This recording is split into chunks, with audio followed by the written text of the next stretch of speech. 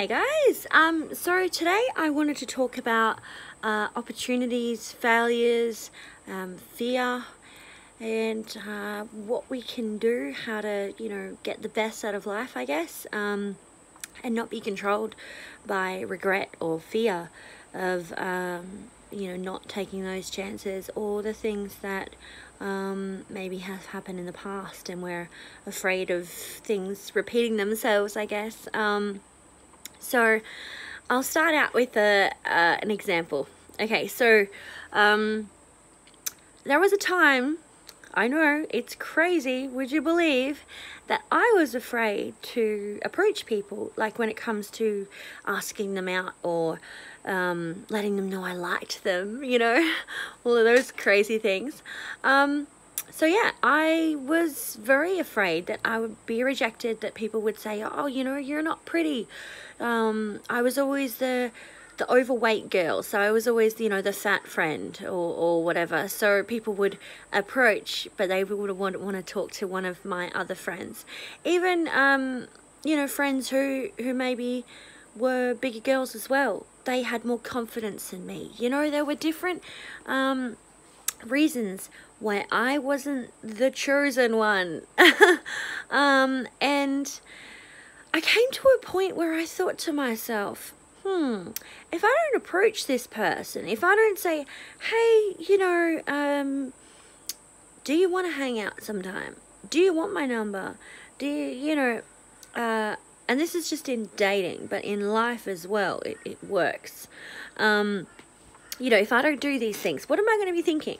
Because I'd end up wondering, oh, I wonder if that guy would have liked me. I wonder if we would have dated. I wonder if my life would have been changed if I had have taken a stance and said, you're worth asking that person. And what's the worst that could happen?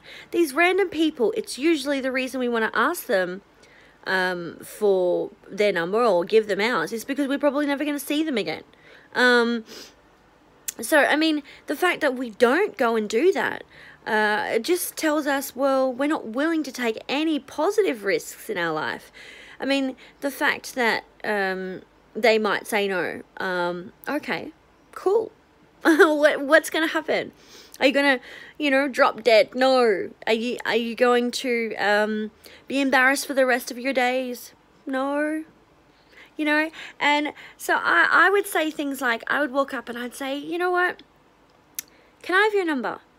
And nine out of ten, the guy is taken, right? So he'll say, I'm with someone. And you know what I say? All the good ones are taken you know? and that makes them feel great. They're like, oh, my wife is going to love this story. And I'm like, yeah, it's cool. I get it, you know? Um, if, if, you know, if I was your wife, I, I'd be rapt to have you too. You know, so I make it like about them.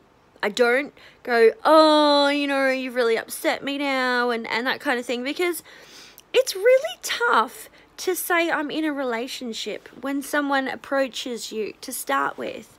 Um, you know, someone as amazing as me. I'm, jo I'm joking, I'm joking, clearly. Um, but someone in general approaches you, it's it's tough to say I'm in a relationship. There are so many people out there who are being unfaithful and who are even lying to the people that they're maybe cheating on with. Um, so I really appreciate when people are honest with me. So I always try to, you know, appreciate the fact that they were honest and also that they're just a decent person. Someone who's loyal to their partner is decent. And there's obviously a reason that I wanted to connect with them. Um, so that's that's a start, right? Um, so okay, back to what I was originally saying. um, so I met this guy on a bus. He's a bus driver. Um, he was really funny and really cool, and um, I do this thing where I I check the boxes. You know, I see what kind of values these people have by when I meet people, and um, so I was just kind of asking him different questions, and he seemed like a good dad, and um, you know, he wasn't with the partner anymore. Um, and so I was just asking these different questions. And I thought to myself, I'm going to ask him for his number. I'm going to do it. So I got off the bus at the train station and I said, hey, can I have your number? And he said, I'm in a relationship. And I thought, I know, you know, of course you are. Of course, he's a nice guy, you know. So I said, Of course you are. And he said, Yeah, I'm sorry, I'm sorry. And I was like, It's all right, no worries. Thanks for letting me know, you know. And I was fine with it. And I got off the, the bus, and um, he was kind of happy, and I was happy. And I thought to myself, Wow, it's taken a while for me to get here. You know, when I first started putting myself out there, um, in dating, in life, in general. I was petrified. I was run by fear. I was run by what if, you know, something terrible happens. Um, and the regret was so terrible after when I didn't take those choices because I talked myself out of it. I said, no, it's going to be terrible. They're going to say no. They're going to embarrass you. They're going to, you know what? If somebody says no and they go out of their way to embarrass you, you don't want them in your life. You know, like, you do not want that person in your life. You don't want that job. You know, you don't want that because we all deserve a decent people in our lives. We all deserve a decent opportunity that presents itself.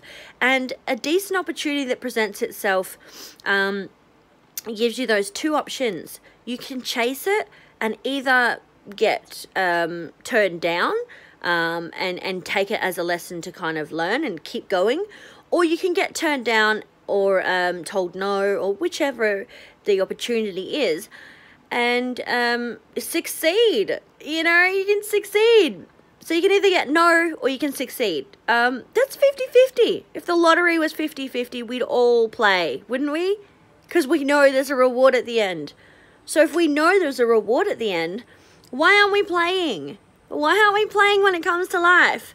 We're, we're focused on the negative, on the possibility that something bad could happen, you know?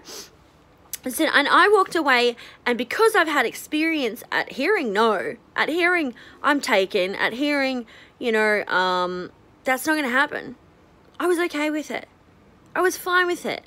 You know, I was like, okay, cool, no worries. Um, there's plenty more people out there who are interested in giving me their time. And not to say that he wasn't a great guy, wasn't on him, you know? He was being great to the person he already has. Um, so I look at that as an example to use in your life, right? Do you want that job? Do you want that new career change? What do you want to change? Are you looking at these opportunities and focusing on the regret for the times you didn't take those opportunities or the fear that maybe you're going to take that opportunity and it's going to fail. and you know what? Failures are amazing. Fail hard. This is what I keep looking at and I keep reading. Fail hard. The harder you fail, the the quicker you can learn that that is not what you want. because when we play it really easy, when we play life on the fence, we don't learn about what we really want. You know, when when you're sitting there and you can't decide what restaurant you want and you say to your partner or whoever, I'm really not sure where I want to go and they go, "Come on, choose." And you have this, you know, disagreement for ages and you you just don't know where you want to eat. And then that person says, "All right, then, we're going to that pizza place." And you go, "No! I don't want pizza. Anything else but pizza." All of a sudden, you know you don't want pizza. Before, you couldn't say, I don't want pizza. You were like, I don't know what I want. Because you were focusing on everything. so you've got to simplify it when you're looking at your life. Simplify what's worked. What are the patterns here? What's worked for me? What doesn't work for me? Get out what doesn't work. That's gone. That's past. We don't want to focus on that anymore. Unless somebody comes around that you meet or that job or whatever it is that you find and it reminds you of something that didn't work. that's always a good one to look at and go, oh, that's triggering something here for me. Is that a big barrier? Like, is that one of my limits? Um, or is that just something little? Like, oh, yeah, someone said this to me once, like, um, I don't like when you do that. And that triggered when an ex partner said, I don't like when you do that, you know, and it became a huge fight or something like that. So, you know, that's a little thing, but you've got differences with like controlling behavior or, um, maybe a boss who is going to uh, use you for your time and not pay you properly, you know, um, those kinds of things. So it's really important to just open up your life